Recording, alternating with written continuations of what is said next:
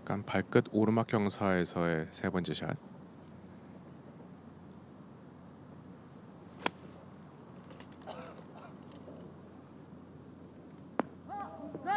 네. 올 시즌에 이 정도 거리가 남았을 때의 버디 성공률이 50%였거든요. 네, 뭐 지금은 tap-in 버디 위치네요. 그렇습니다. 아 오늘 처음으로 박민지 선수의 날카로운 샷이 좀 한번 나왔습니다. 예. 가장 밝은 표정으로 지금 그린에 걸어오는 박민지의 모습이었는데요.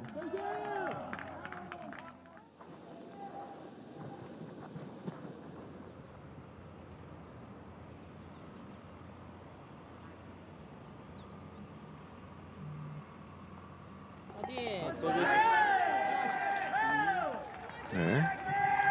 태핀 버디. 예.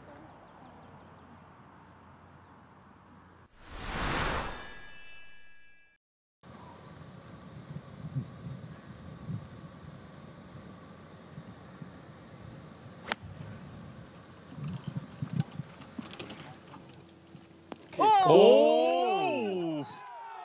아, 두 홀 연속 정말 날카로운 샷 보여주고 있는 박민지 예. 선수입니다. 아 이제는 예열은 끝났다라는 듯한 네.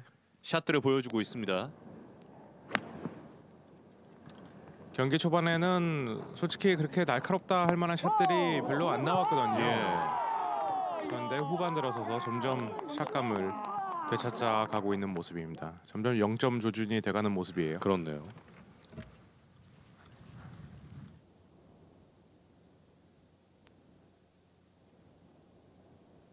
성공시키면 두 홀 연속 버디.